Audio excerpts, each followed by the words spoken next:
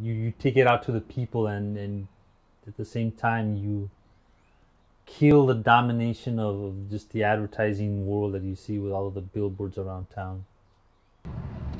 Everybody can enjoy it, you know, hundreds and thousands of people, you know, over the course of a year can see my art. It's just out there. You, you don't have to go to a gallery. So it's kind of a different, it's, it's like art for the masses.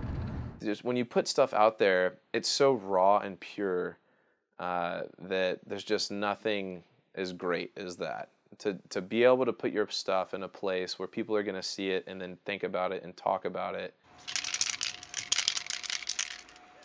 It's complete freedom. I can paint anything. It, it doesn't matter. It's, it's just pure self-expression.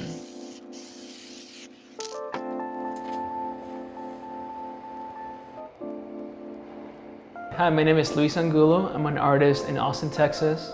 I'm from Caracas, Venezuela, and I've been in Austin for eight years. Hello, my name is Federico Archuleta. I am a graffiti stencil artist here in Austin, Texas. For the past 12, 13 years, I've been at it. My name is Sevi Garza, and uh, I'm from here in Austin, Texas, and I do street art and stencil art.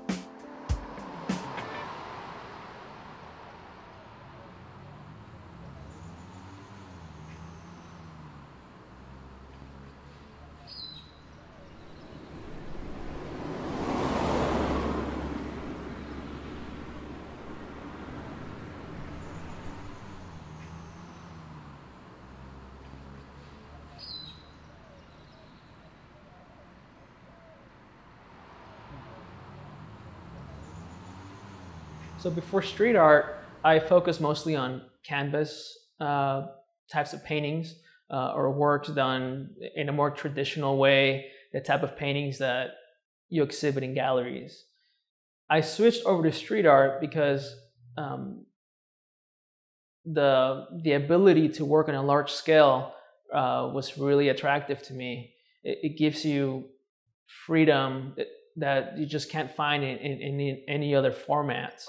Also, the fact that it's out there for the world to see at any given time is also really exciting for me.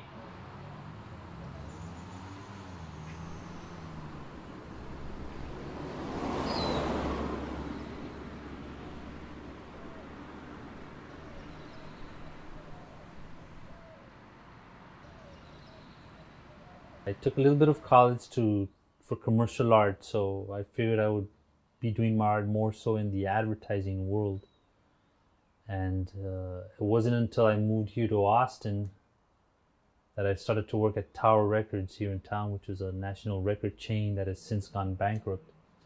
And in front of the university here at UT, they had their store, and I did large scale stencils of different musical artists, both Texas and not and whatnot. And once I started to get feedback from that, I thought, like, you know what, this is something that I kind of enjoy. Um, I never did any kind of freehand graffiti with a with a cryptic graffiti writing that you see that's very popular.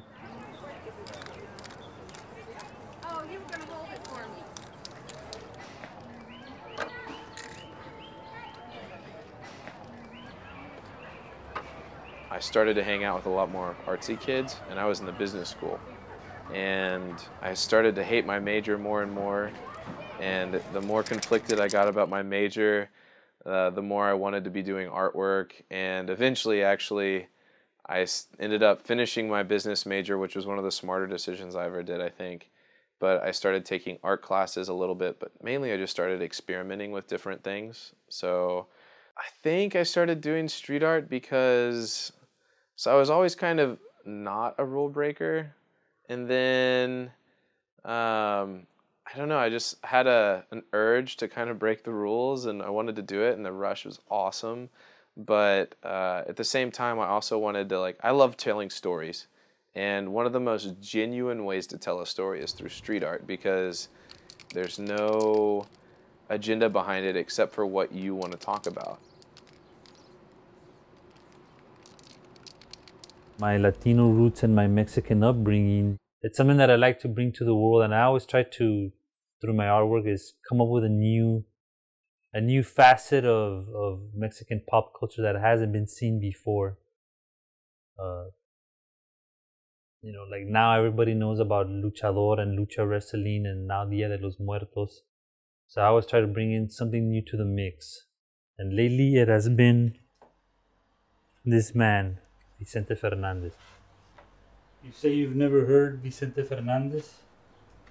That's okay, there's always a first time for everyone.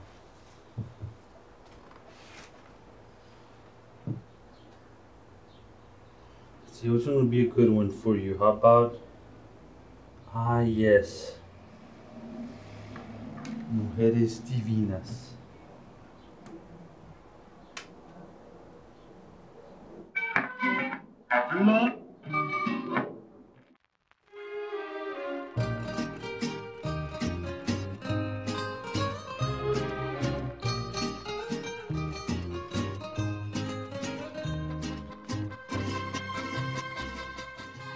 I started doing El Chavo on the east side of Austin because the east side is a predominantly Mexican neighborhood that's now being gentrified. And El Chavo is a Mexican TV character uh, from the 80s. Uh, it's a comedic show, and uh, El Chavo in particular is a character who is an orphan that lives in a barrel.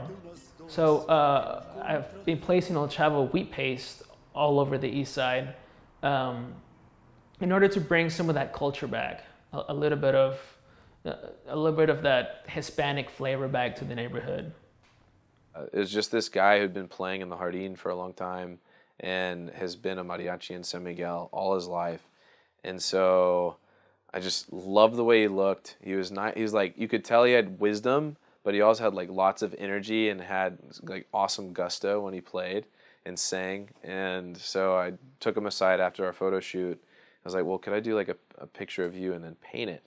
And it was kind of at the time uh, when Donald Trump started talking about Mexicans.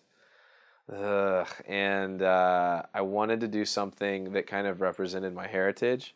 And so I painted the mariachi um, as the foreground, and then as the background, I did the American flag, but with the Mexican flag colors as the colors of the flag, um, just to kind of represent the fact that, like, pretty much all of us, except for Native Americans, are immigrants at one point in time. So all this, all the political bullshit that people worry about aside, um, that was really what I wanted to accomplish with it, and I think the piece came out really, really well.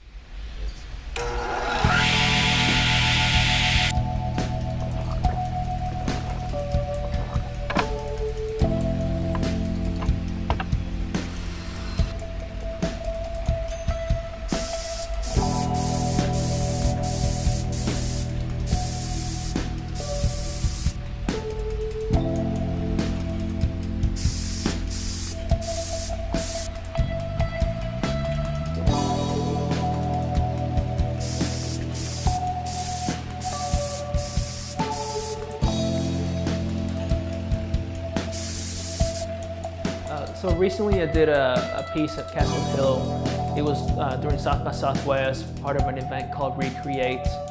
So for my piece, I chose to paint the tardigrade. The tardigrade is a microscopic organism.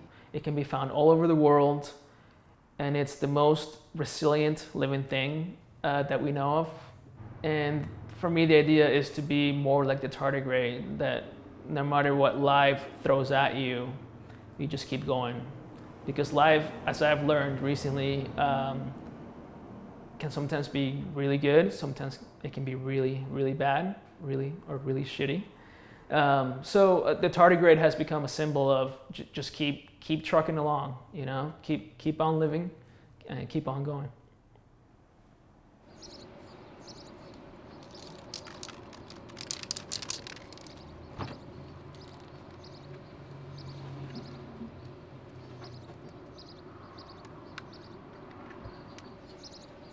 Uh, most of my artwork that I do now, it, a lot of it has a message or a story behind it that I want to tell people. Like, I'd much rather tell a story about a local guy that lives in my neighborhood who is struggling through homelessness, that has like an ex girlfriend and like three kids that they no longer get to see that live in California, but they're in Austin. And they got here by hitchhiking back in like the 90s. I mean, like all these stories that go untold that are so civilian and so original are so much more like meaningful to me.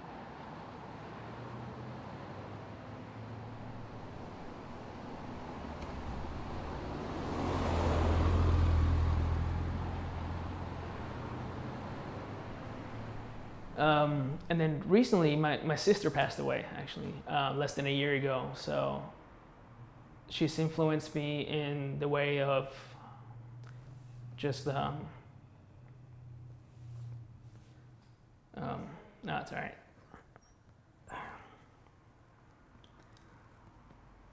She's, uh, so her passing has pushed me to just, just go for it. Um, to to just really you know really pursue my art career because it's, it's what brings me the most joy and uh, you know it also made me realize how anything can happen at any moment so you got to just live your life and just go for it because really at the end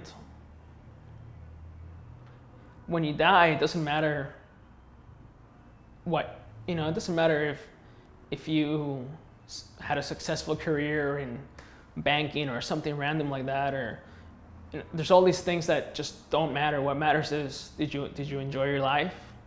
Did you follow your dreams